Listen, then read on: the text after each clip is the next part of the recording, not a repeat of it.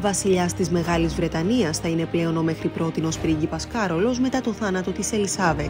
Στην ανακοίνωση του παλατιού για το θάνατο της Ελισάβετ αναφέρεται ότι ο βασιλιάς και η σύζυγός του θα παραμείνουν στο κάστρο Μπαλμόραλ και θα πάνε στο Λονδίνο αύριο.